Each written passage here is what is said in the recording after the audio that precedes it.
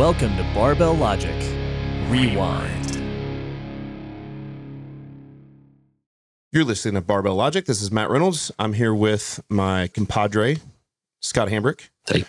and one of my close friends, Brett McKay. Welcome to the show. Hey, thanks for having me. So, Brett, now you're in upper management of the cult. Now I'm in upper management. I've, We jumped him in. Right. That's right. Um, no, so yeah, I did the podcast, and then a few months later, it's 2015. I asked, like, "Hey, let's do some videos." So I was doing YouTube heavily back then. I don't do it anymore with the site, and I filmed how to squat, and Yep. my low bar squat sucked. Uh, it was terrible. No, I don't I'm know about that. No, like the wrists were terrible. I, I, know couldn't everybody get yells that. about the wrist. Yeah, in the everyone's video. yelling about it. It's fine. We did deadlift and then I went back and then shoulder press and then I went back a few months later to do bench press and power clean. Yeah. Yeah. And then after that I was like I'm going to start doing this. So I started doing the the programming, the you know linear progression novice. Uh, but I had to stop because like on the low bar squat I would just because my setup was terrible, I would get really bad bicep tendonitis. Yeah. And it was so bad that I couldn't deadlift. Like I couldn't like I'd get done with squatting, it's like my biceps just they're they're hurting is this normal? I don't know. I guess so. And I would just fight through it. And it got to the point I can't, I can't even pull anymore. So I'd take a break and then I'd get back to it. And then finally it happened again. I was like, okay, I'm not going to do this anymore. And that's when I got, that's when you reached out to me. Yeah. And you're just like, hey, you know, I was just in an email. That Yeah, was you like, just sent an email. Thanks for the videos that you made. right. I'm doing online coaching. It's like I use your videos all the time. The Right. same videos we're talking about. Yeah, just like, thanks for what you've done. This is cool. And, Yeah. And, And, and you I- said, hey, can you help me with my bicep tonight? Right, exactly. I said, "Hey, you know, I like this, but I asked you, like, do you offer online coaching? Because like, I think it'd be great if because I don't have a coach to look at my form, and I couldn't get that in Tulsa. And you're like, oh, well, actually, I do offer online coaching, Funny you should ask. and uh, Which is we- really not the reason that I emailed, although I was super excited when you were the one that reached out and said, I remember sitting at the dining room table and, and telling Rachel, telling my wife, like, I think Brett McKay just asked me to online coach him. She's like, who? right. But who's yeah, this it's guy? fine. right? Um, and that's we started working together. So that was what like November 15. November 2015. We started working together, And, my favorite thing about that is that little skinny guy that is in those videos was not Yeah. the guy that's sitting at the table. I weighed, right now. yeah, the first videos I did, I was 185 or 180 ish. And then I went back four months later because I'd started eating better and I got up to 200. I was like, I weigh 200 pounds now. But then when I got on with you, that's when it really started picking up Sure. Uh, because you started doing the nutrition. What nutrition. did you tell you should weigh? What, him? Yeah. yeah. I don't, you, you haven't really been like giving me any targets. No. You're, you're like, I think at one point you're like, if you want to like pull, I need to weigh 245 if I want to pull 600 or something. Yeah, like I remember saying stuff like that. I mean, for me, the the diet drives the progress. You look, yeah, you look like an insect. You look like a praying mantis, and so uh, and so for me, it was always about you've got to eat enough to drive the gains. And so from the very beginning, we put you on linear progression. Your linear, your actual linear progression wasn't very long because you had done a lot of it already. Yeah. I mean, that's the thing. I wasn't like completely new to barbell training because I think I remember when I posted that video of me doing uh, bench press, five reps of 225. Sure. People were like, oh my gosh, like Brett's like a newbie and he's like doing this. Like, no, I had like, I barbell trained all through high school, Sure. doing, you know, Right. whatever programming the strength and conditioning coach gave you Sure. at the time. And then I did barbell training on and off since then. So, I mean, I was a novice still because I had a linear progression in me, but I did have some training in me Yeah, of course. which helped speed things along. Because yeah, how long was I on linear progression once I started? Probably two months with me, I think. So by the time we got into January of of sixteen, we started to put you on intermediate based programming. So so more of a Texas method, and, and we put you on a. I remember for a while you actually did a four day split on three days a week, which I'm not crazy about. But at the time, I remember you were having like it was really busy at Art of Manliness, Right. And it was and so we're like I can only get in three days a week, so we basically just alternated upper lower upper lower Why don't you like the four day, four day and three? because I don't think it tends to give enough stress to drive adaptation. At least not with a guy that's that's Brett's age. So you get somebody Right. in their mid thirties, I early thirties. You know, on the week that it's two lower body sessions and one upper body session, I think it's fine. But on that next week where it's two upper body sessions and one lower, it just doesn't seem to be enough total stress. And so when I've done that, and I still have a few clients that do that on the week that where like the Wednesday workout is the lower body workout, I hammer them. So they're doing at least two sets of five on deadlift, if not three sets of 5 on mm-hmm. deadlift, because it's just one session that week. And so they're not going to have to do another lower body session until Monday of the following week. So you're talking about a five day layoff. That's what you're doing to me. Well, Just hammering me. Well, yeah, but yeah. you've got advanced programming now, so you have to get hammered. That's that's the deal. So yeah, so let's stay on the body weight thing for a second. So we drove your body weight up to about where You remember like your high point? At the meet, the high point was like 227, 228. okay. That was the meet. And I, you know, I, one of the things that's been just kind of a joy with working with you is that really from the beginning, I mean, you ask questions, but you've you've relinquished control and you trusted me in my in my programming. I mean, I, I told you when I, I mean, I wanted so badly to deadlift 500 pounds because I had been chasing that before you for such a long time. And I'd got up to like 465 on my own and then I plateaued. And then I started like, okay, I'm going to find these like special deadlift programs where you do like back extensions. Like it was like Yeah. weird stuff and it didn't budge. And then when you mm. came on, I got on with you. I said, I will do whatever you tell me to do. I want to deadlift 500 pounds. Yeah. And uh, I mean, I feel like I have. Like, I mean, I, I'll ask questions because I'm curious. Yeah, of course. No, you no, you very well. It's not because like, this is dumb. Like, why are you having me do that? Yeah, I'm sure you and- get some of that when and I know, I know this is probably even like I No, don't. we actually don't get a lot of that. They just don't do it. Like you Yeah. program it, Yeah, and just it's don't do less it. argumentative. Although I mean, we you know we get some, but But I'm just So, curious. uh, the, the other piece of this is, let's I certainly don't say this to make you uncomfortable in any way, but as as you get these people who are who have a big following online, Mm-hmm. they tend to not do a great job of following the program. Right? It's not even that they are argumentative; they're often not. You know, I think they're busy. They've got this big following. They're doing all this other stuff, and so the program or the linear progression is not that important. And for you, it's funny. You've really kind of adhered to the program with consistency as well or better than just about every client I have. And so that's really the telltale. It's not about how far you are on the right side of the athletic spectrum or all those things are cool. And those athletic guys make me look better as a coach. But really what it comes down to is consistency. And you've just been insanely consistent for the last two years. Because like, I love it. I enjoy doing it. I think I've only missed a few workouts, and because I was like Very super few. sick. Yep, super Right. sick. Or, and then if I have vacation, I always tell you like I'm going to be gone. Let's plan for a deload. Yep, we plan deload weeks. And so so we got your body weight up to almost 230. Right. And in the process, you know, we've talked about this both uh, on the podcast we've done that I've done with you and also in some of the articles that we've written. Anytime you're gaining weight, anytime you're gaining both muscle and fat, right? And so what we're trying to do is you gain is you're trying to gain mostly muscle and the least amount of fat possible, but you're obviously gaining some fat. And so at 230, when you were up around 230, you were a little bit uncomfortable with the I got pudgy. Like my waist pudge. got up to like 39 inches, Yeah, and which so- was the horror. right. But I mean, From what though? Uh, th- from from thirty six. uh, it was like 34. I mean, like Yeah. I was kind of at 34 when I started, Mhm. and then I ramped it up to 39 inches, which Yeah. was pretty. And even my wife was like, "You're looking, you're not looking good." She's Yeah. like, "You're not, you're looking unhealthy." this is the prop the hard part with the the program often and and certainly some of the negative feedback gets is that it will make people fat but the interesting thing is is that you just have to get through that window Right. of strength gains and while it's there for the taking you've got to take it. You've got to swing for the fences. And so you did. You swung for the fences. We got you big. We got you strong. You crushed your 500 pound deadlift pr you squatted over 400 pounds right? You're you're benching over 300 pounds now. You're pressing over 200 pounds. And then over the last several months, maybe the last what about three to four months, somewhere in there. Yeah. We've really tweaked your macros and started pulling back, and you have lost about 15 pounds. Now you're about 215 ish. 214. Yeah, so, so you morning. tweak the macros. That's the macronutrients. The It's macro, yeah. you know, So like micronutrients would be like calcium, potassium. yeah, the all- macros, The yeah, macros, protein. macronutrients, right? So what we did was we uh, the protein's always going to be high, and really it kind of depends on the person, but for the most part, we recognize that Brett tended to respond better to a little higher carbs and less Yeah. fat. He I- responds well. No, actually, I I got my genome sequence because like we we put me on the fat, the high fat thing, Mm-hmm. right? Because everyone's like, you got to do high fat. 'Cause that's like the paleo, all that stuff. Like, yeah, of course. Look at this guy; he lost lots of body fat by eating lots of fat, and I would do that, and I would just get fat, Right. and I would feel like crap. Yep. And they're like, no, you just got to push through, right? There's that that thing. You're gonna feel like crap. You're gonna feel like you have the flu, and I would do that, and then I would just still feel like crap, and I would get fatter, and then I would move to okay, let's just go to higher carbs. Yep. You know, that's the same voice Thrall uses for internet haters. Did right. you know it? Yeah. Like, Right, oh, right. God, Thrall. Right.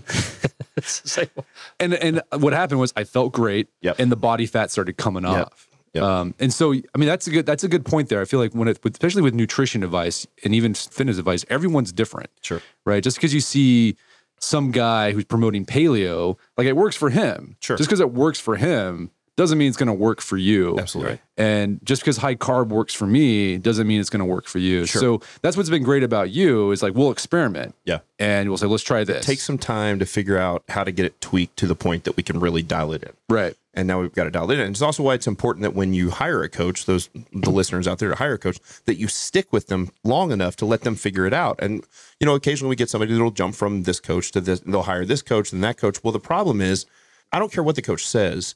Your very first program from that coach, especially if you're not an absolute novice, it's just a cookie cutter program because they don't know you yet. So now, like you're programming now, you're doing advanced programming, but I actually write that programming every week for you because it has to be so tailored to you because I've now figured out exactly what works with you. But that it took a while to get Took a there. while. And it was the same thing with the diet. And so now you're 214, you're as strong as you've ever been in your life, and you're lean and you look good and your waist, wife's noticed. waist is down to 33 and a half inches. Yeah, so the waist is now smaller than it was when he started. right. Right. But think about this like his erectors are bigger, Right. his abdominal wall is bigger, his obliques are bigger. And so the amount of fat that's come off of his midsection is tremendous. So he's now smaller waist than he was when he started, you know, 30 pounds less than this, and got him up to 230, dropped him back down to 214. And I, you look good, Yeah, healthy, look feel at- good. What's Mama say now? She looks, yeah, look, look great. You know, she looks, you look strong, you look Yeah. healthy, right? But again, there's that. Yeah, I think a lot of people need to understand that you're going to go through that period where you're just going to feel like you're going to look like crap. Yep. well, Um, wait a minute. You, you don't look like crap. I don't know. You I just- looked like crap. I look hag. My wife said I looked haggard, and I just You look like a big, strong dude. I, I I saw don't you. I was kind of. I, I, thought remember I did. I did a video, and I, there was a gut. Like you could see Well- the gut, and it was just like hanging out there.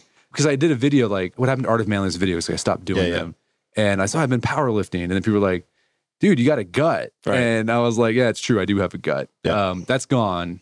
Yeah, now we now. got to You gotta start the YouTube We need to do a new video. We do at least one more video. But video. again, but like you have to trust the process. Yeah.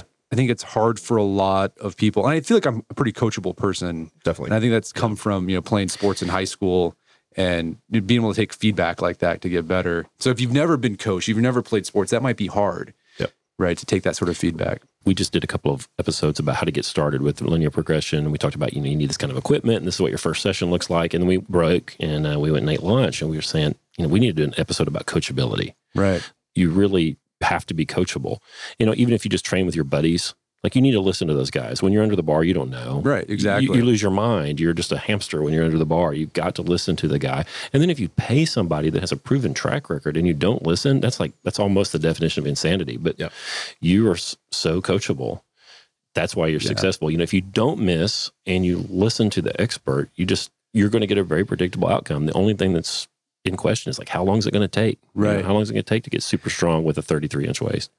I think another aspect that helps you be coachable is I've tried to do this is like I, you know I watch my own videos and I try to like look at okay what am I doing wrong and I'll even tell Matt like this is what I think is what I'm doing wrong. Yep. Yeah, that's is that right? And then I would be like, let me go over to Scott's house Yeah. and like have him look at this in real Sure, sure. time. So I, thi- I think you have to take a proactive approach. Like take the approach like I'm probably sucking at this more than I think I am. Right. With that in mind, let me do what I can to get better. Right. So that's kind of been my approach. Like, Sounds I'll- good. Yeah, if somebody has an, an advice for you, that doesn't mean you're a fool. It's no, Right. it's no slight. You know, there, we don't need to have ego in it when we go for help. You know. Right. And it might not, you might not even take the advice, right? Because they might like, okay, Yeah, But- but yeah, Reynolds told me you need to gain some weight. Right. I think I was like 185. I think when I started with you or something like that, maybe 190. And you're like, you need Yeah. to gain some weight. So I got up around 220. It's like, you know, I think you'd do really great at 260. Did I say that? yes. And uh, I said, uh, no. no. I'd have to get a new car. Like I drove a Honda. Like I, I wouldn't fit in the car anymore. So you know, I But can it's- still use my judgment. But it's good. Yeah. It's use your own judgment, but get that third eye on you because you might not be seeing something that you don't know about. We do the same thing all the time. The staff will post videos of ourselves to the rest of the staff and say, "Hey, what does this look like? What am I doing wrong?" You know, I had a coach that I coach who was who was getting forward on his f- toes, and I couldn't get him off his toes. I couldn't get him off his toes, and so I reached back, reached out to the staff, and said, "How do I get this guy off his toes? I've tried this. I've tried. We've tried this sitting back. Was We've the tried squat? the box squat. Eh, and so- squat. Yeah, on the squat, and we switched him to tempo squats and three second negative eccentric and a three second concentric and it almost instantly the amount of time that he had to think about it he Yeah. actively thought the whole time stay on midfoot stay on midfoot stay on midfoot it cleaned it up and i've used tempo squats before but i've never used tempo squats to get people off their toes and so was a thing that we learned. Essentially, doing tempo squat is what, what finally got me to keep my chest up properly. Right. Yeah. It gives you time to think. The first thing I do with the vast majority of people that come see me for in person is I slow them down. Slow down. Yeah. They go too fast. I get it. They see the really good lifters as your form, and that motor pattern locks in, and it's perfect. It can speed up and you get a little more rebound, a little more rebound, a little more rebound. The problem is, is that most people walk in and they try to get all that rebound, and the form is a disaster. And so I've got to slow it way down. Do the same thing. Seminars, slow them way down. I go down really slow, up fast, and you're you know fine. Yeah. So we started when you first hired me. We were walking in with this bicep tendonitis problem. Right. So did we fix it? we did fix it. How? So what, what it was was my setup On? on the squat. Yeah. So what was happening was the way I was setting up on the squat was to get. I was basically trying to get in a low bar position using a high bar. So I would get under the bar like a high bar squat, Right. And Wrist then bent, elbows wrist all bent, jacked and up. then just Yeah. shove it down my Right. shoulders, and then I would kind of crank up Yep. my wrist above the bar. Is it here? Yeah, it was right, right there Ah, that one. on both sides. Yep. And I showed you the video of how I set up, and you're like, okay, next time just put your wrist on top and then just put yourself in there. Yep. And you know, it was uncomfortable. Sure. It's like I'm really tight in my shoulders and my chest. But after doing that, it cleared it up because I was no longer doing the cranking thing. Sure. And then also, I think by doing, um, you know, going under and then trying to get up, I don't think I got my wrist all the way on top of the bar. Sure. and Right. so I was holding a lot of that weight. Because what would happen, your the, hands the- anyway. the bicep tendonitis would hit around like when I, my squat got up to about 325, 340. Before that, it was fine. And I think it's because, you know, I can handle 225 in my hands. Yeah, sure. Yeah. But after that, it cleared it up. I mean, that's not to say I don't get bicep tendonitis anymore. Every Sure. now and then it flares up for whatever reason. But that's one thing that you have to learn as a novice lifter or an intermediate lifter, like managing the pain and working around the pain. So that's one of the useful things having a coach, right? You tell me, like, my biceps are killing me. I don't know if I can work. And you're just like, well, ice it, take some Advil, put some, what is it, DMOS, DMSO. DMSO, DMOS with DOM. What is that? Okay. Yeah, there's DOMs. And DOMs. And there's DM. We're talking about dimethyl can treat- sulfoxide. You can Right. treat DOMs with DMSO. Right. Yeah, there you go. And you you just put it on there and then, you know, you'll feel a little bit better. It's still but you can still do your workout. Still train. you can still train. That's the thing. And that's You the always- thing. That's That- the difference between training and exercise. and that's the thing hard thing for a lot of inter, like beginner lifters to realize like even if you don't feel good, even if you hurt, like you still have to train. Yep. You might adjust things a little bit, but you still have to train. Yeah, absolutely. We do it all the time. We, had, we got an email yesterday. We had a, a guy that's a, a relatively new client, and he emailed because he'd strained a bicep, and he said, "I'm gonna I'm gonna take a month off. I need you to freeze my account, take a month off, and not train." I said, "But you can't squat, you can't deadlift with a strained bicep, like, and we'll work around the other stuff, right? Like, you can probably press with a strained bicep, like, you know." You can't chin with a strained bicep, right? And you you know, and you might not be able to bench press, but so we see this all the time. I mean, we've talked about this. Like, what injuries do you have to have to absolutely stop training? It's very few. Fever, broken bones, muscle avulsions. Yeah. Yeah, and even uh, like a broken bone in the last 24 hours, sort of broken bone, right? Like if I ha- if I have a broken arm, I'm not going to train for a day or two, but then and I'm not going to press and bench press, but I'm going to figure out how to squat with a safety squat bar, Right. and I'm going to figure out how to one arm sumo deadlift because which isn't optimal, but it's better than sitting at home and dying, you know, which is the problem. Yeah, I've got a guy with a broken leg that I've got him doing like the seated deadlifts. Yeah. Yeah, and uh, you know, sucks. But what's he gonna do? Like What are he gonna broke do? his femur. Right. You know? Right. But I think that's where a coach comes in handy. Because I think if someone was doing it on their own, they'd be like, well, yeah, I can't. What do I do? what do I? I'm hurt. Sure. I just got to get ready. But like, a coach would be like, no, you're fine. You're not going to die. Rub some dirt on it, boy. Right. Like you're going to be okay. Sure. And it's good to have that someone just to push you like that. So that's another thing. So uh, we did intermediate thing. What would you call it? What I was doing like a split, Four At- day, yeah, four day split. four day split. like- and then after that, what what was it you like had? DUP? Is that what we DUP. did? Yeah, I think it was DUP, and that was terrible. yeah. That but you got real sucked. strong. That sucked. Yeah, no, I got strong. But that was another thing. It was weird. You didn't block now? what am I doing now? Yeah, I'm doing Basically, block. yeah, Yeah. his version of block. I don't even know. I don't even ask. But the DUP, what I thought was interesting was, and this is where again, like that, where you have to trust the process, trust the coach. Was with the deadlifts, there were some days where it was just like it was really heavy, and you're having me do a lot of reps. Yep. And I was like, I can't do this. Like Yep. I can do one rep or two reps. And you're just like, I have to do five of them and then like two sets of it Jesus. Right. Yeah. and uh and you're like no it's okay you know you're not going to get it but you're eventually going to get it and i was like i don't think so and then but i'll be darned like Yeah. three weeks later i was hitting it. i was getting it so that was weird i mean and and, Sure. and but i was glad when we were done uh with dup the, the first time anybody goes into advanced programming where they've come out of this idea that like the fatigue process, right? The stress recovery adaptation, that stress, the time that it takes me to go through that entire stress recovery adaptation process goes from every day to weekly.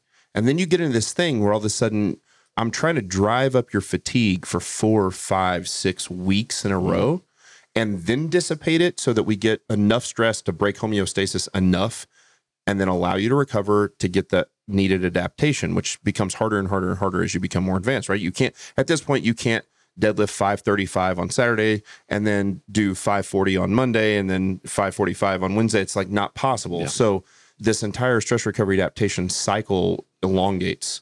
And the first time somebody's exposed to that, where they've never really had to go through several weeks of fatigue buildup, it crushes them. It sucks. I mean, it's it's more psychologically. Oh, for draining. sure. Not the. Like, it's, I mean, you're tired, but like the psychology, you feel like I should be able to do this. Like I feel fine physically, but then you get down there and you're just like, no, it's not happening.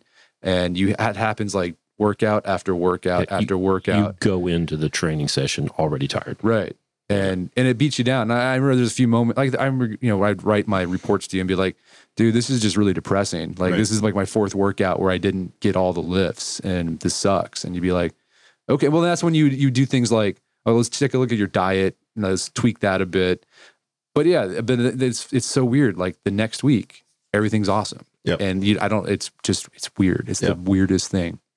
So, what was your bachelor's in, bachelor degree? Uh, letters Yeah. at the University of Oklahoma. So like it's basically classic. Yeah, so it's, a, it's just a fancy way of saying humanities degrees. Actually, letters is the very first degree that like medieval universities gave out Nice. back in the day. So it was connected with the classics department. So I had to take Latin, I had to take a modern language, I had to study philosophy, literature, history, Yeah.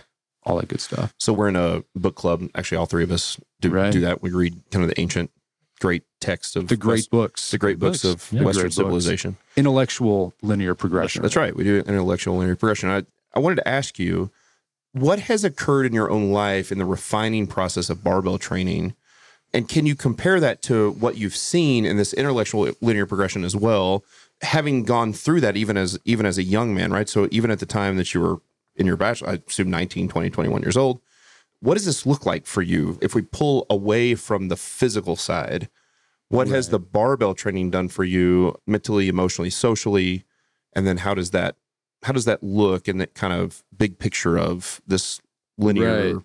So emotionally, barbell training can become addictive uh, in a way because like you chase numbers, and that's it's kind of scary. That I'm like, okay, I thought always like 500, that's it, I'm done. I'll quit. Yeah. No, okay, no, 600 now. Yeah, right. I'm going for 600. Yeah. And it's like, this is this safe? Um, but no, that going back to that, we talked, we were talking about some stoicism last night, right? The way you master fate is just to accept the burden of fate, right? And uh, barbell training is a lot like that. There's some day you just go in and you know it's going to be hard, but you still do it. Yeah. The idea of like, you know, success in life is just showing up. Uh, and that's the same with barbell training. Like you just you get down there and do the work. It's gonna be the it might be the crappiest workout. You might not even get your lifts, but you show up because you create that habit. So the next time you go in there and you've created that habit, you'll go in there the next time you do better. So I think I mean that was to say that the big picture thing, that's what I love about barbell training is that if you just show up in life, if you accept that things are gonna be hard, you can get through it. And I mean, it, it also shows you that what the human psyche or the human what a human being is capable of pushing themselves through. We often think we're very fragile, Mm. um, and we, in a lot of ways we are, right? But it's amazing how fast we can recover from things. You know, we were talking, we were reading the Aeneid. This guy, his city burnt down. He had to carry his dad on his shoulders. His wife died, but this guy was able to push on. He was able to sol- soldier on. I'm sure you guys seen people in your own lives where just tragedy strikes, and you think, man, how can anyone recover from that? Yep. But they do. Yep. They do. I mean, that's that, and I think that's uh, should give people a lot of hope. No matter where you are, if you had some terrible thing that happened in your life and you think it's just going to devastate you, uh, it's going to suck. It's going to hurt for a while. But I think there's that whole stress adaptation recovery thing that happens Yep. to us psychologically too. Like you're going to become stronger Yeah. in the process, and you're going to look back and it you know, still might hurt when you think about it, but you're to be stronger, Sure. right? And you can you can push yourself further than you thought. So maybe that's another thing you can learn from barbell training. Yeah, I think the barbell training prepares you better for those times in life than for those who haven't done it, right? So Um, I certainly don't want to call tragedy on my my life, but I do feel like I'm better prepared to handle it if I have to, if I am called to do that because of the barbell training that I've done. There was a thread on Reddit last week, big earthquakes in Mexico last week. And a guy said, you know, the, I think the title of the thread was, This is why we train. And there were these earthquakes, and the guy lived kind of in the country. And like four in the morning, they jump in the truck and drive into town.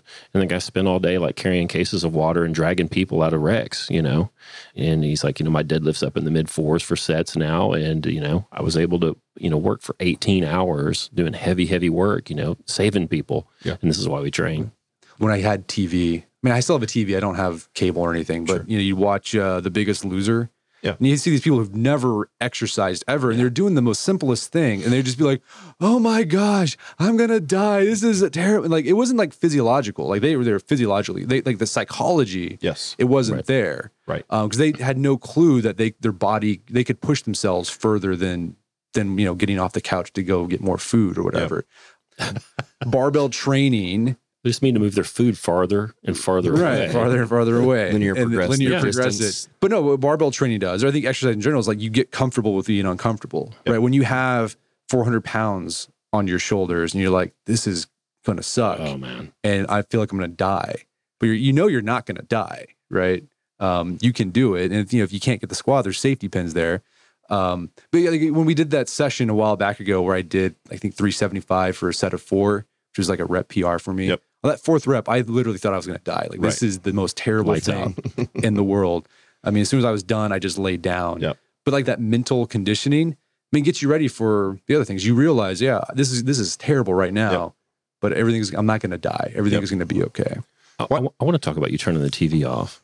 When, how long you guys been without television? Without cable, like we have, a, so we have a TV. We just don't have cable. Uh, it's been probably two years. Yeah. So because I mean, you realize you're paying what 150 170 dollars, and you're To- like, to I watch. poisoned. I watch one channel. I watch one TV show. So I was like, why don't I just get Roku and just That's all we do. So yeah, it's like we watch. Uh, the only TV we watch is American Ninja Warrior. okay. So we we, we our family loves American Ninja Warrior. When we did Downton Abbey last year, watched through that, and that that's it. Like I I started watching uh, Man in the High Castle.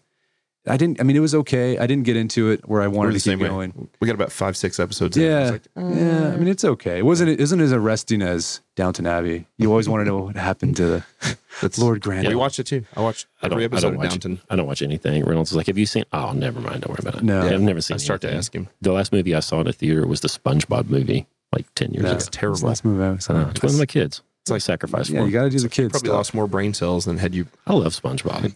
But what I am doing, I bought an old school TV antenna. I'm going to put it up because you, you see, if you have cable connections all through your house, you can connect an antenna, put it on your house, and then use that cable connection to you know give TV to all your HD TVs in your house. Because I want to do that because like I want to watch a football game every now and then Sure. on Saturday, and I can't do that right now Right. with the Roku. So That makes sense. so I'm going to do we watch TV like 1955 here. That's A lot of our TV time has been replaced under barbell. Like, Yeah. we train in the evening, you know, and uh, you know we train in the in the garage. And we can see the houses across the street. They've all got the light in the window, you know, because they're all watching TV, and we're out there sweating and grunting. I, I used to be the biggest superior. sports fan, huge sports fan. I mean, I, I was one of these kids that would read the sports almanac growing up and, and memorize the stats and yeah, and played uh, you know fantasy everything, fantasy football, Yeah, fantasy never got into baseball. fantasy yeah, it was more it was more about bragging rights with your buddies and stuff. But since the business has grown, and two, since I think I grew up at some point and realized that my time was more valuable than that. I don't think that sports are immoral or anything. I think they're amoral. Obviously, they're not necessarily good or bad. And there's pieces of sports that I actually really like.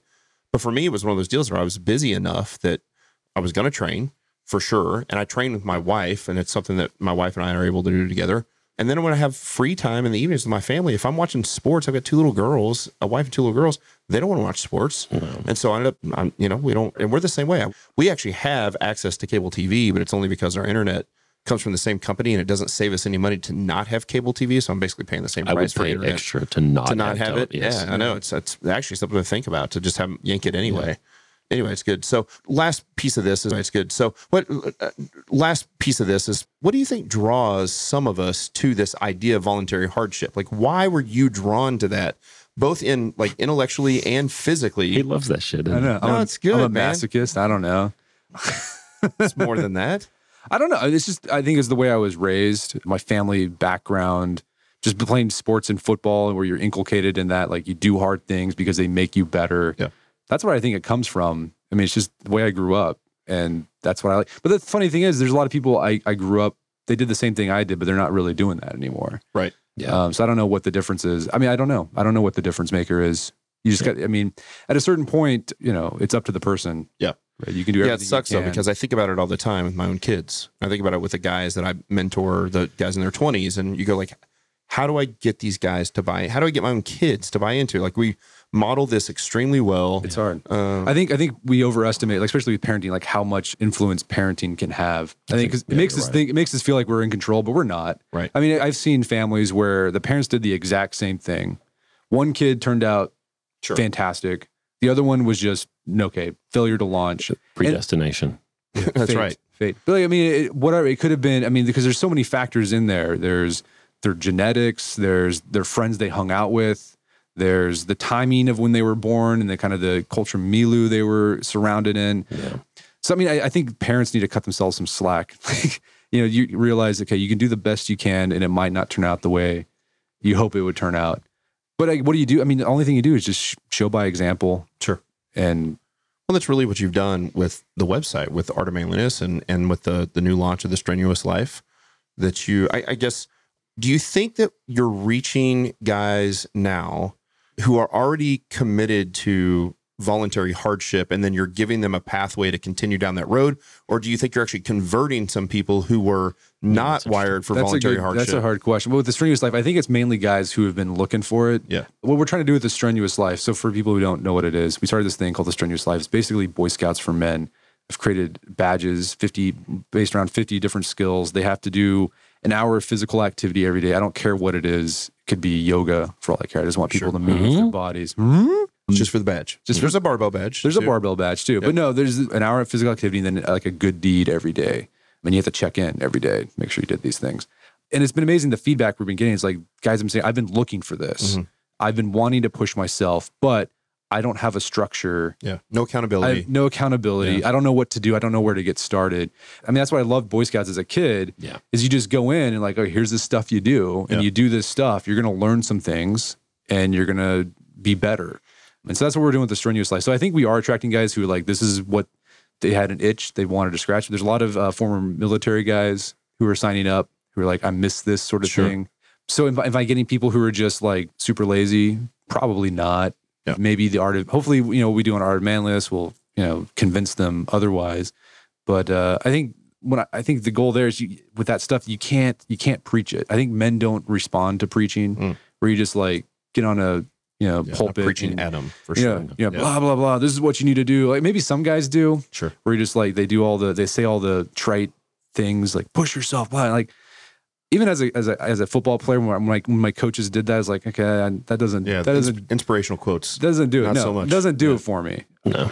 Yeah, I remember like yeah, the thing my football coach would say, be like, "This is like so hard that normal people can't do this, and you guys are going to be so much more successful because you played football." And I was like, "I don't think that's necessary because I know a lot of guys here that probably aren't going to be that successful. I know a lot of guys who played football Yeah. That were successes. They're still talking only about the days they used to play football. right, Right. That's the, that was the highlight of their life. right, exactly. I love what you do because for a lot of reasons, but one of the things is there, I don't know, people are becoming more sort of, um, I don't know, in siloed. you Right. know, and, you know, there used to be lots of fraternal organizations and lots of outlets for men to be men among each other and help each other. And, and those things don't exist anymore or they're marginalized and they existed for a reason. And Right. now, now people don't pay any heed to those older organizations. And, uh, there's a big void there to be filled and you you help do that you reach these people through a medium that they can relate to and kind of fill that need it's a big deal Yeah, and that's what I'm hoping the strenuous life does. Because one of the things we're hoping it does is it gets people together in actual meet space, like you know, get together. It's like we're gonna do a thing tomorrow, Yeah. right? And there's I think how many five or six guys who are coming, A few more. Yeah. a few more who are gonna we're gonna do some deadlift, and Yeah. then we're gonna how go to ruck deadlift, ruck. because I think that's important, like especially for men.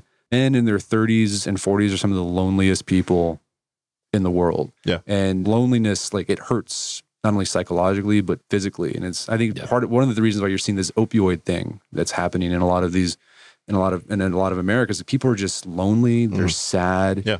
and there's no outlet for that anymore. Yeah. They don't have a place where they can go. So I'm hoping that you know the strenuous life can provide. You know, it's not going to solve it, obviously, but it's going to help in that area. Yeah, and provide the framework for guys to get together and and actually do stuff that's valuable together, right? Right. as it's not just to- watching sports, Right. watching the UFC there's fight. wrong There's nothing that, wrong with that. But it's something to recognize there's a call to something greater here, and we can actually refine ourselves physically, mentally, emotionally, socially, all these things Right. where where we're missing out because we because we're often most of us are stuck in kind of suburb hell, right? Right. Where our life is going to soccer practice all the time. To Right. take, You pull know. the car in the garage, put the door down, then get out. And That, go that's exactly right. Yeah. Nobody sits on the front porch. Nobody knows their neighbors anymore, right? Right. So air conditioning, central air conditioning gets invented, and all of a sudden there's no eaves, overhanging eaves. Nobody's out on the front porch or back porch anymore. It's the you know, our friend Mel Rippey, he went to one of our training days we had here in Tulsa, and we had like 40 people show up to to train together. We weren't, weren't in a clinic or anything. We just threw a weightlifting party essentially. And uh, he called me and he's like, I can't believe how supportive everybody was and how everybody was like, he, he brought his, he brought his 14, 15 year old son. Everybody was just cheering his son on, you know, the, uh, there's a guy there that actually he, he was just trained at this gym and he came over to me and he said, what's that kid's name? And I said, well, that's, you know, that's a, that's Jacob. And so when Jacob went up to deadlift, that, guy was just yelling for him, you Yeah. know. And um, I Right. was like, you know, I wish I had that kind of community all the all the time. I'm like, well, why don't you come and train? Right. then, you know, sure. But yeah, people are dying for that. people and here's the thing it's like it's so weird it's like we've forgotten how to socialize Yep. right particularly i think you know 20 somethings 30 somethings so you, you look back at your parents i remember my parents their generation our grandparents generation like they would just get together just randomly Yeah. let's play bridge Play Yeah. bridge, bring a Let's casserole. bring a cat like it's keep it low key and i think i feel like millennials particularly they have to have like high expectations of how things mm. should be it's like it needs to look awesome because it's going to be on instagram Sure. it's going to be on Pinterest. So they have to like make it like cute. Right. And they have to like, it's all this work. So it's so much work. They're like, I'm not even going to do this. Yep. When it's just like, you know, just invite some people over to your house, order a pizza, Yeah.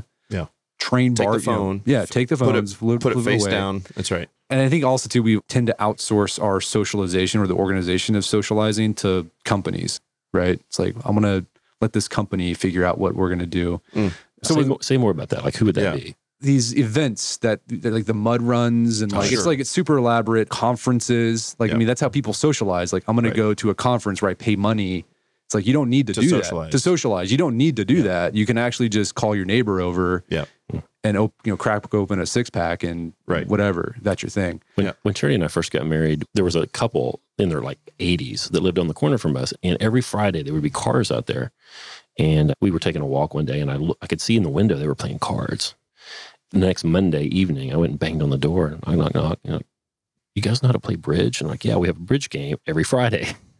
And so we played bridge with them every Wednesday for years. Yeah. And people used to do that all the time. You think it's going to be boring, but it's actually pretty fun. Oh, it's 'Cause great. You, you play it for like the conversation. Yeah. You just get there and you just talk and jibber jabber. And that's why I like barbell train. I think if you have a gym in your garage, like that's such a great opportunity to get some people over. Just like, hey, want to deadlift? And I think most, Yeah. if you ask most guys that, Right. they're going to like jump at the chance to do that. Sure. So we did that. Uh, I'm like the, the leader of the men's group in my church and I need to do an activity because like, they don't really do anything.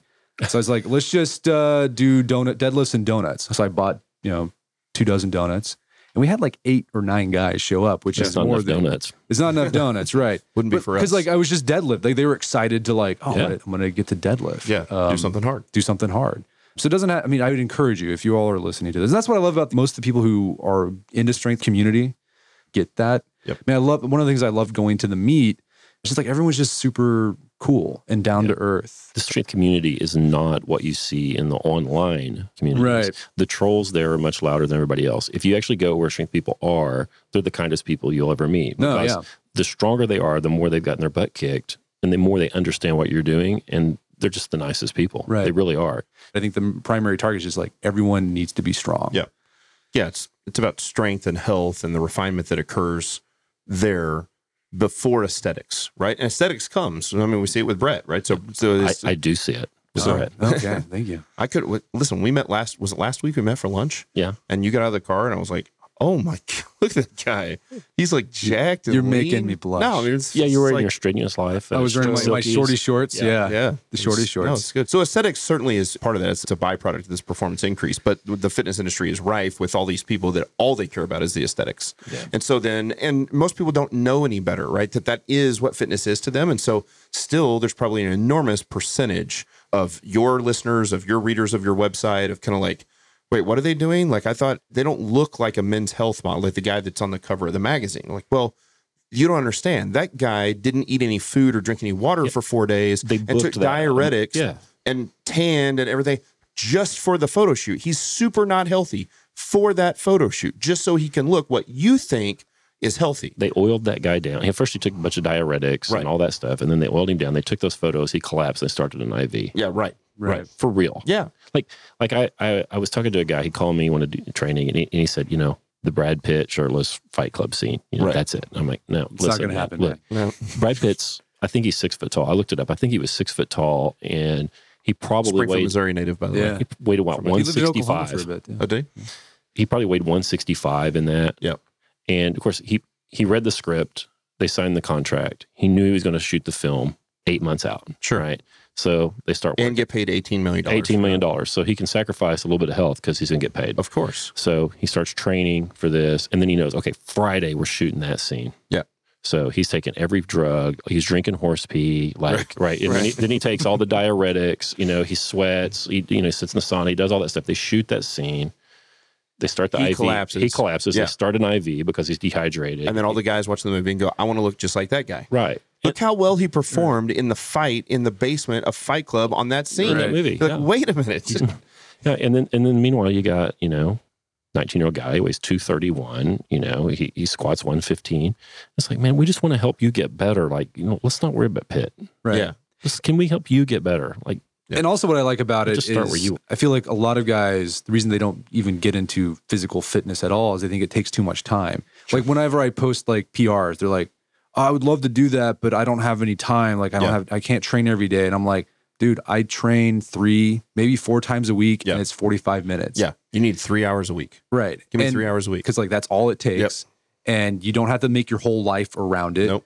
and you can have a family Yep. and still do it and Yep. still get strong yeah i mean like I, three times a week it's all i train Yep. i mean i guess i'm doing four times a week now Yeah, but you're also advanced. right but And when you it's- and it's first still start out that much time. right but it's still not that much 45 minutes tops Yeah, right. yeah, and if you're not watching TV, if you're not you got watching plenty of time. Yeah, right. Really, plenty of time could- right What- what's the average person watch TV? it's something week? it's still something crazy even though It's 20 there's hours a week, I yeah it's Oh, still I bet it something insane Yeah, it's crazy. like we just added computers to that Right. i was reading some study about that it's pretty Yeah. nuts Dude, thanks for being on the show. no this is fun I really appreciate it. yeah You've been a hell of a client. In spite of you, uh, you've helped us tremendously. But I'm I'm just thankful for the fact that you've just been consistent for two straight years. You know, it's one of those awesome Well, things. We well, look at the guy's bracelet. He's wearing a bracelet that says "Do it now." do it now it's good. Yeah, I gotta get you one of these things so wait what's on what's next on the table for me Well, you've got the meets Meet coming up. coming up. So the meet's coming up the end of October for you. So I like to ask you a question. So you know, if you go to you go to the meet, you get you get a total. You're going to qualify for the the nationals in uh, Oakland, uh, right? Jan- Yeah. last week of January or something like that. Second week of January, Second- right? Or third, whatever. You want to go to nationals? We're t- yeah, we're my wife. I'm already talking about my wife 'cause we got friends in San Francisco, so Cool. we're tentatively planning There maybe go. together. Are you guys gonna go? I'll be there. Okay. so if you go, or if some of my clients go, I'll go. I'm actually flying home from Hawaii Oh, the day before. But well, but what I may do is just book the flight to San Francisco since I'm coming from Hawaii anyway. Yeah.